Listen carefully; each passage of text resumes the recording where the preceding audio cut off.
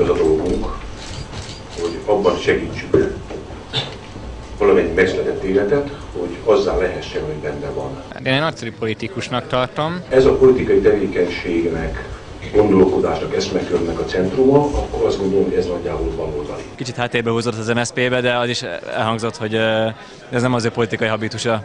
Tehát a kicsit nyugodtabb tudna maradni, az valószínűleg az ő számára is szerencsésebb lenne. Remek politikusnak tartom. Szerintem az egyetlen ellensúly a baloldalon. Még mindig tematizálja a közvéleményt. Az új demokráciák becsülete, tisztelete Magyarországon lényegesen alacsonyabb, mint Bulgáriában, Romániában, Szlovákiában vagy Lengyelországban. Amit az kormányzás alatt végbevitt, azzal nem vagyok teljesen megelégedve, de mint maga a párton belüli politikája, az szerintem teljesen értékes volt és értékelhető. Miután a magyarok jelentős része elhitte, hogy nem kell nagy árat fizetnie Kádárnak azért, hogy relatíven szabad lehessen, a boltok meg tele voltak áruval, ezért a magyarok számára mindaz, ami az elmúlt 20 év az nem túlságosan értékes. Egy meghatározó politikai személyiség, Ezért vágynak sokan vissza abba a világba, mert volt kis kert, volt kiszámítható jövedelem, nem volt veszélyben a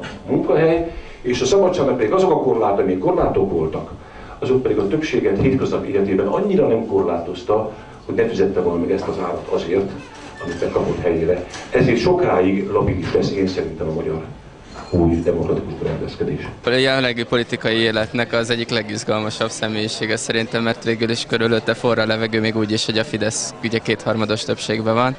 hát hajrá, vagy nem tudom.